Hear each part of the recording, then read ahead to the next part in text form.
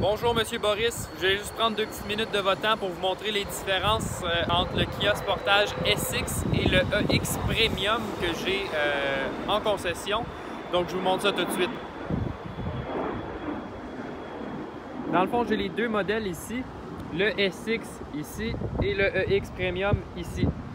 Donc premièrement, on peut voir les différences entre les deux modèles. Ils sont de la même couleur, ceux-là.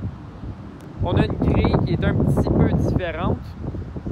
Les euh, fog lights ici de Ice Cube. Les roues qui vont être différentes. On a du 19 pouces sur le SX, du 18 sur le EX. Les deux ont le toit ouvrant panoramique. Et si on vient à l'arrière aussi, on voit la principale différence ici les deux embouts d'échappement puisqu'on a le 2 litres turbo dans le SX et le 2.4 litres ici euh, dans le EX Premium ou EX Tech. Sinon, les lumières sont exactement les mêmes. Si on regarde les principales différences à l'intérieur cette fois-ci,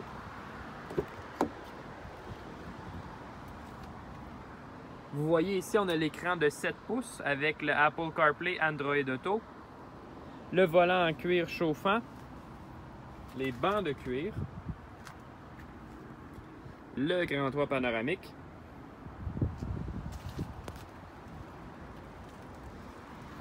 Et si je regarde tout de suite dans le SX,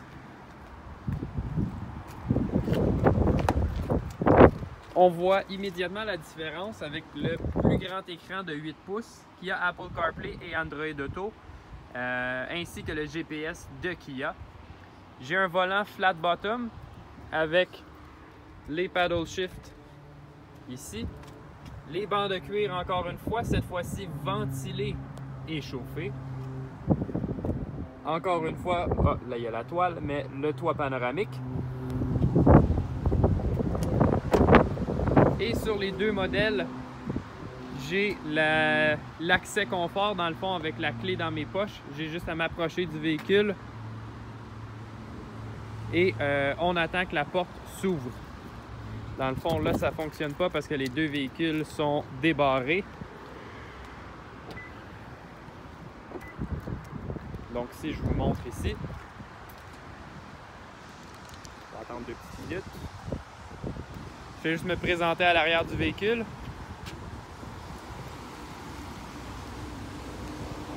Voyons.